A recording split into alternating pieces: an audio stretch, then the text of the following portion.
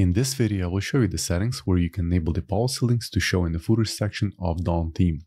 As in my case, I have the refund policy, privacy, terms of service, shipping, and calling information show in the footer section every single page on my website.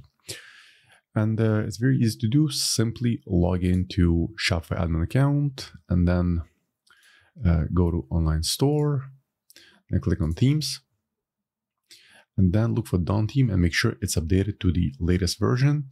In my case, it's 9.0. And then select customize.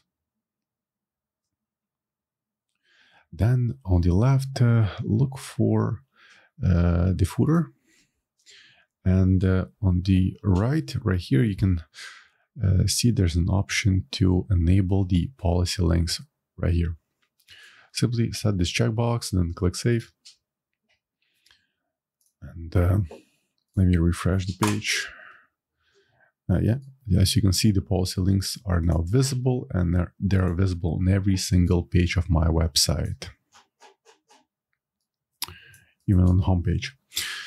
So that's pretty much it. I hope you found this tip useful. For more Shopify tutorials, please subscribe to the channel. Thanks.